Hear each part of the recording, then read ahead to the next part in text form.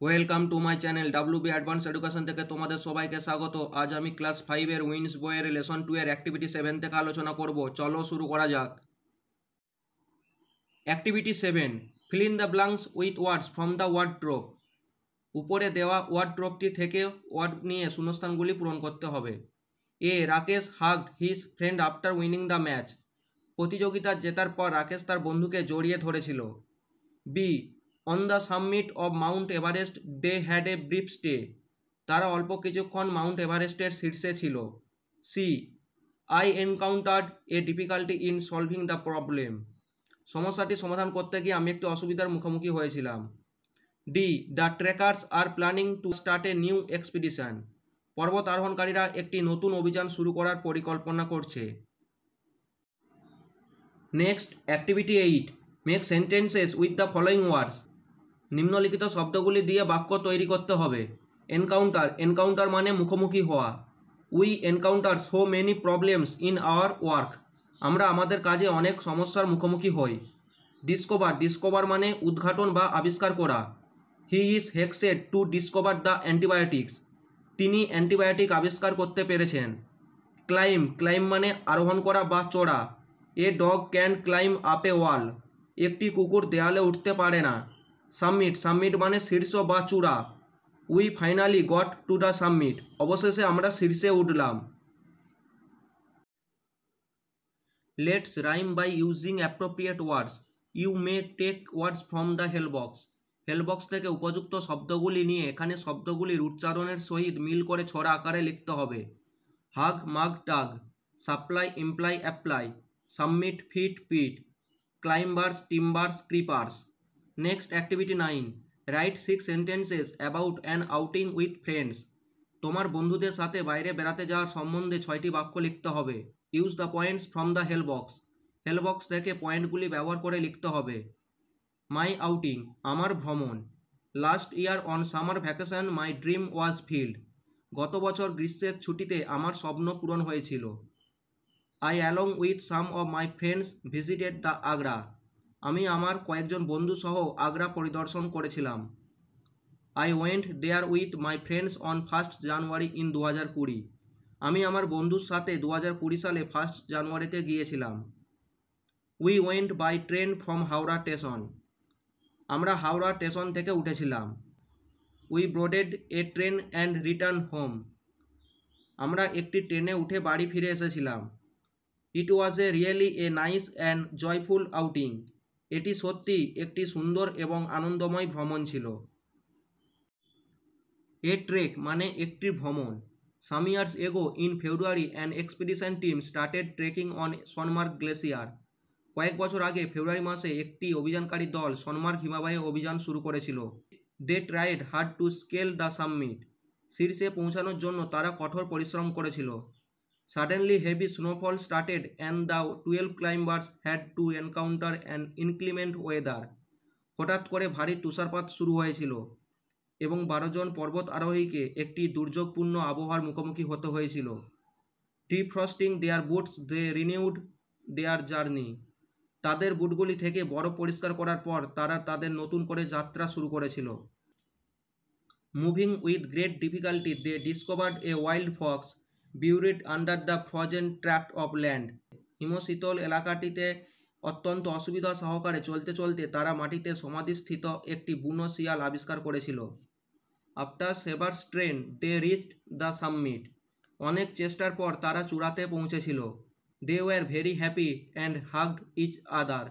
তারা খুব খুশি হয়েছিল এবং একে অপরকে জড়িয়ে ধরেছিল। Next activity ten. Answer the following questions প্রশ্নগুলির উত্তর করতে হবে। A when did an expedition team trek on Sonamarg glacier কখন একটি অভিযানকারী দল সনমার্গ হিমবাহে অভিযান শুরু করেছিল? অ্যান্সার হবে some years ago in February an expedition team started trekking on Sonamarg glacier কয়েক বছর আগে ফেব্রুয়ারি মাসে একটি অভিযানকারী দল সনমার্গ হিমবাহে অভিযান শুরু করেছিল। Next B what did the twelve climbers discover বারো জন পর্বত আরোহণকারী কী আবিষ্কার করেছিল? অ্যান্সার হবে the twelve climbers discovered, a wild fox buried under the frozen tract of land. বারো জন পর্বত আরোহণকারী হিমশীতল জমিতে সমাধিস্থিত একটি বুনো শিয়াল আবিষ্কার করেছিল।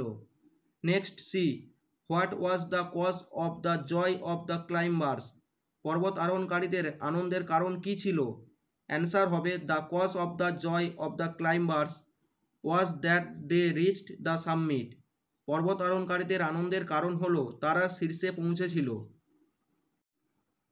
Next activity eleven write T for true and F for false statements in the boxes given নিচের বিবৃতিগুলি যেগুলি সত্য, তার পাশে টি এবং যেগুলি মিথ্যা, তার পাশে এফ লিখতে হবে। A some years ago in December an expedition team started trekking কয়েক বছর আগে, ডিসেম্বর মাসে একটি অভিযানকারী দল অভিযান শুরু করেছিল। এটি ফলস হবে, কারণ প্যাসেজটিতে ফেব্রুয়ারি মাস দেওয়া আছে, এখানে ডিসেম্বর মাস লেখা আছে। Next B, the climbers defrosted their coats আরোহণকারীরা তাদের কোটগুলি থেকে বরফ পরিষ্কার করেছিল। এটি ফলস হবে কারণ প্যাসেজটিতে বুটগুলি থেকে বরফ পরিষ্কার করা হয়েছিল লেখা রয়েছে। Next C, a wild fox was found frozen. একটি বুনো শিয়ালকে হিমায়িত অবস্থায় খুঁজে পাওয়া গিয়েছিল। এটি ট্রু হবে। Next D on reaching the summit the climbers were very happy চূড়ায় পৌঁছানোর সময় আরোহণকারীরা খুব খুশি হয়েছিল, এটি ট্রু হবে। Next activity twelve underline the adjectives in the following sentences নিচের বাক্যগুলিতে অ্যাডজেক্টিভগুলির তোলায় দাগ দিতে হবে। A Jibanananda was a famous poet of Bengal Jibanananda একজন বিখ্যাত বাঙালি কবি ছিলেন। এখানে কি ধরনের কবি বলা হয়েছে? বিখ্যাত কবি, তাই ফেমাস একটি adjective next B the sun shines on the snowy mountain tops তুষারময় পর্বতের উপরে সূর্য কিরণ দিচ্ছে। এখানে পর্বতটি কেমন? স্নোই স্নোই মানে তুষারময়, তাই স্নোই একটি adjective next C the broken chair was removed from the room ঘর থেকে ভাঙা চেয়ারটি সরানো হয়েছিল। এখানে চেয়ারটি কেমন? ব্রকেন মানে ভাঙা, তাই ব্রকেন একটি adjective next D a foul smell hovers in the kitchen একটি বাজে গন্ধ রান্নাঘরে ঘুরছে। এখানে গন্ধটি কেমন ফোল মানে বাজে, তাই ফোল একটি adjective. Next, activity thirteen. Take one word from box A and one from box B and write the pair of opposite words in the given page box A এবং বক্স বি থেকে একটি করে শব্দ নিয়ে পাশাপাশি একে অপরের বিপরীত শব্দ লিখতে হবে। হার্ড মানে শক্ত, সফট মানে নরম, ডিফিকাল্ট মানে জটিল, ইজি মানে সহজ। ওয়াইল্ড মানে বন্য ডোমেস্টিক মানে গৃহপালিত হ্যাপি মানে খুশি স্যাড মানে দুঃখিত সেভার মানে তীব্র বা কঠোর জেন্টেল মানে মৃদু বা নম্র রিনাউন্ড মানে সুপরিচিত আননোন মানে অপরিচিত ফোল মানে দুর্গন্ধ ফ্র্যাগনেন্ট মানে সুগন্ধ। Next activity fourteen suppose you went to attend a birthday party ধরে নাও তুমি একটি জন্মদিনের অনুষ্ঠানে গিয়েছিলে write in six sentences about your experience তোমার অভিজ্ঞতা সম্পর্কে ছয়টি বাক্য লিখতে হবে। Last Saturday I went to attend my friend's birthday গত শনিবার আমি আমার বন্ধুর জন্মদিন অনুষ্ঠানে গিয়েছিলাম। There were as many as fifty other people present on the party অনুষ্ঠানে আরও পঞ্চাশ জন লোক উপস্থিত ছিল। A very beautiful cake was brought at the birthday party জন্মদিনের অনুষ্ঠানে খুব সুন্দর একটি কেক আনা হয়েছিল। We sang the birthday song when my friend cut the cake যখন আমার বন্ধু কেক কাটছিল, আমরা জন্মদিনের গানটি গেয়েছিলাম। We all enjoyed there very much আমরা সকলেই সেখানে খুব আনন্দ উপভোগ করেছিলাম। We ate good dinner and come back home at ten PM আমরা রাতে ভালো খাবার খেয়েছিলাম এবং রাত দশটায় বাড়ি ফিরে এসেছিলাম। Next activity fifteen last year you visited Sittong valley with your parents গত বছর তুমি তোমার অভিভাবকদের সাথে সিতং উপত্যকায় ভ্রমণে গিয়েছিলে। You like the place very much. তোমার ওই জায়গাটি খুব পছন্দ হয়েছে। Write a paragraph on Sittong valley in five or six sentences. Sittong উপত্যকার সম্বন্ধে পাঁচটি বা ছয়টি বাক্য দিয়ে অনুচ্ছেদ লিখতে হবে। Use the points from the help box. Help box থেকে পয়েন্টগুলি ব্যবহার করে লিখতে হবে। সিতং ভ্যালি মানে সিতং উপত্যকা। Sittong valley is a very charming place situated in Darjeeling hills Sittong উপত্যকা দার্জিলিং পাহাড়ে অবস্থিত একটি খুব মনোরম জায়গা।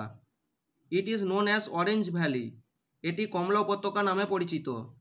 There are many orange trees at the entire area পুরো এলাকায় প্রচুর কমলা গাছ রয়েছে। The average temperature of the area is cool and calm অঞ্চলের গড় তাপমাত্রা শীতল এবং শান্ত। We saw many varieties of birds there আমরা সেখানে বিভিন্ন জাতের পাখি দেখতে পাই। The area is very famous for its orange cultivation অঞ্চলটি কমলা চাষের জন্য খুব বিখ্যাত। আজকের ভিডিওটি এই পর্যন্ত।